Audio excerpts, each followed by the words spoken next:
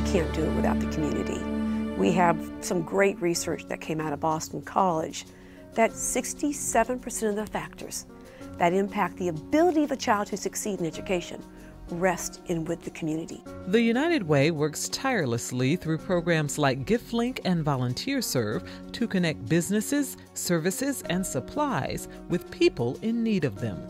One such connection came when GiftLink connected Checkered Flag with Norfolk's PB Young Elementary. The principal said, I don't have enough bookshelves for my books. And Checkered Flag said, okay, we're in.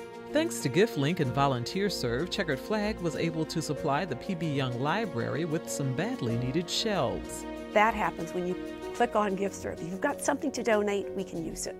Support comes from Thomas Nelson Community College. Explore, excel, succeed.